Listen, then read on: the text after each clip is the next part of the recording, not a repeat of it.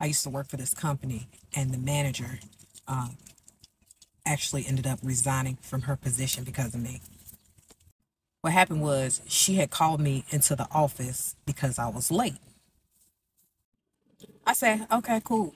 I appear to take it on the chin, but in my head, I'm plotting. Now, I'm plotting because I'm thinking that being late is the office culture. Everybody came in late. My seat, conveniently located by the door.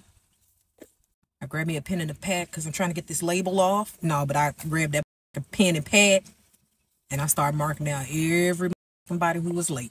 Don't act like y'all ain't know I was a snitch. So finally, after I get 30 days worth of data, because you have to make these clinical studies with enough evidence, I put together a nice little email and send it off to the district manager. Here you go.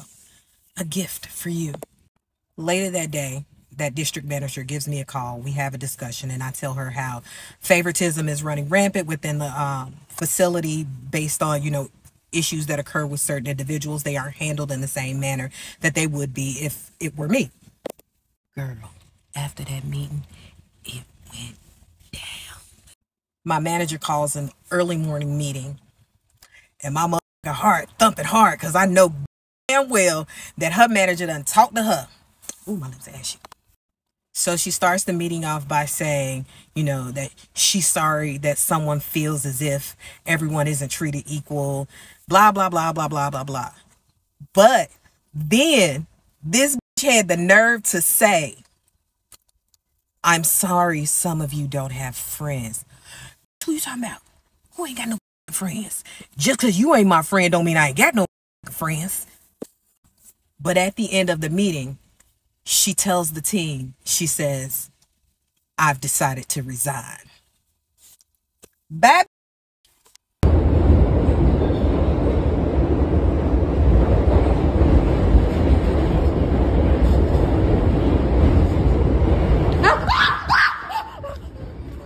basically what had happened was that I was going on the B train uptown.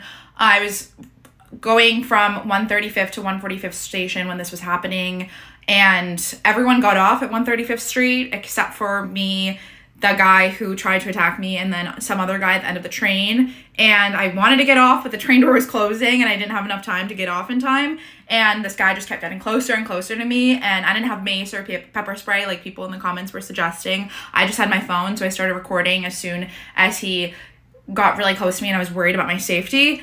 Um, and as you can see in the video, he tried to hit me. I'm not sure what he was going for, if he was grabbing me or hitting me, but I started screaming as soon as he got near me with his hands. And luckily, there was another guy at the end of the train who started defending me and was like, dude, back up. Like, get away from her. She's obviously scared. And he at first wouldn't leave me alone, but then the guy at the end of the car stood up and protected me. And then as soon as the train stopped, I ran out of the station, went to a Dunkin' Donuts Uber to work. But yeah, definitely the most traumatizing experience of my life. I want to look into getting pepper spray and mace because that was very scary. But be safe out there, ladies. New York City right now is rampant with crime. Don't get on a car alone or with only a few people like I did. Make sure it's a crowded car. And if you have to, Uber, take a cab. So let me tell y'all the story about how I walked in on my boyfriend eating his sister in law's kitty cat, aka his brother's wife. Let's get into it. Before I start, to be clear, I should have never been in this relationship in the first place. He was a rebound. He was a solid five. I'm an eight and a half. I'm about a nine when I pretend to have a bigger booty than I do. It's an illusion.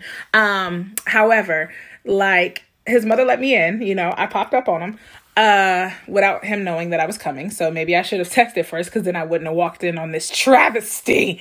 I walk in and catch him red lipped. And I say red lipped because his lips were red because she was on her and he was still, y'all, this nigga is nasty. Okay. Disgusting. And I just at, immediately got sick to my stomach.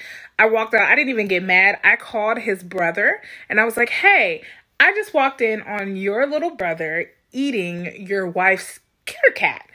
And um, he said, what?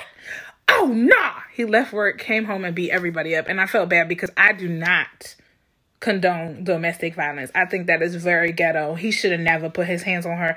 However, That's kind of wild. Let me address this first. Everybody's like, why would his mom let you in? His mom's a snitch. Why would she do that? His mom and I were really cool. Like, she make fake pay stubs and she do a bunch of like hood stuff that made me think like, oh, I could depend on her because she'll do anything. Um, Long story short, I logged into his Facebook later on that night. I found all these messages between him and his sister in law. That's how they contacted each other when they wanted to go upstairs or downstairs to do the nasty while his brother was at work. Um, and I screenshotted all the messages and I sent his family one big group chat. Y'all are really gonna hate me now. People are saying my story is cap as if people don't be earning their Red Wings amongst doing other things like eating poop and stuff like that. Like, y'all, people are nasty. That's people have kinks, okay? I can't call people's kinks nasty. I don't want to kink shame, but people are nasty. So as you can imagine, things got really messy once I sent those screenshots to the family group chat. Um, even his mother like turned on me and was like, why would you destroy my family like this? Like you're this, you're that. And the wife was obviously saying that it was going to be on site next time she saw me. It wasn't on site the next time she saw me. Anyway, um, to touch on the wife real quick. So the wife was really like she low key was opioidy. Like you could see it in her skin, nasty midget. No, seriously, she just looked like she struggled with something um, of the chemical substance. And no shade to anybody who does, but she also didn't have custody of her children and lived on a totally opposite coast of where her kids lived. So um, you know that's probably why she didn't care about nothing or care about life, and that's why she slept with you know, her husband's brother. Um, the people who are curious, I broke up with him that day. Like, bro, that'll do it. Okay. Um, so yeah, my ex and his sister-in-law tried to gaslight me. Like, are you sure you saw what you thought you saw? You didn't see that. I was down there watching TV. I'm sorry. His lips were red. I know what I saw. And he was in the crotched position. Like, crotch position. I don't know. Anyway, I'm just here. So the moral of this story is don't date dudes who do parkour because they don't care about life and most likely they don't care about you, you know? Um so yeah, that's that on that. Oh, I forgot to tell y'all, years later, when he finally got back in contact with me, he tried to say, Oh, well, I had an oral fetish at this time and I just couldn't help it because I hadn't seen you in like two days. So he tried to blame it on a fetish as to why he cheated on me with his sister in law. This story is about the time I dated this toxic military man. And I should snitch on you, but I'm not. So, boom, I was going through a lot in my previous relationship. So, he was kind of just there for me, you know? So yeah, I'm very vulnerable at the time. He's doing things that my ex, you know, wouldn't do for me. He's older, he's more mature, seem like. So boom, one day he like, oh, I'm about to deploy. I'm like, bro, what? He like, yeah, I'm gonna deploy like within the next 30 days. So I'm all sad. I'm like, for real, you really gonna leave me? And I was so sad because he was the only person I had at the time. Like he was the like I was going through a lot with friends, like people crossing me. Like he was the only one there for me. And now you finna leave and deploy. So Like, you know what, whatever. I'm gonna hold you down because you was here for me when I was going through it. So we didn't establish like, yeah, we're together. He told me, oh, okay, before we get into this, let me tell you, for you get mad. I am pending a divorce right now. Like, it's not all the way complete, but like, we started the paperwork. Only reason why I'm not gonna complete it is because now I got a little bit of time to worry about deploying. So I just don't have the time right now. But when I get back, I promise you, it's gonna be handled. I don't even talk to this girl, this, that, and the third. He old me. So boom, he leave. He give me like his grandma necklace. It might not even been his grandma necklace. And I mean, he my boyfriend, so I wear his clothes and stuff. So I have on his necklace and one of his shirts. And I had made a little video. Get what? A girl DM me and was like, I know damn well that's not such and such. La, la, la. I know that shirt. I know that. I'm like, so boom, I text him. I'm like, who is this? Is this your wife in my DMs? He like, bro, chill. Just tell her, like, look, tell her you my soldier and you just crashing there for a little bit because technically we're still married and she still wants to be with me, but I don't want to be with her. So she could hit me for adultery when, you know, it's not because I'm trying to get this divorce. He was smart. So I'm like, okay, bro. I'm gonna vouch for you because you show me the paperwork. Y'all, you say you gonna get this divorce when you get back. So okay, I'm gonna vouch for you. She believed that, and then she showed me like, you know, how they still together. Why? Why he was really still talking to his wife and me? So you know what I did?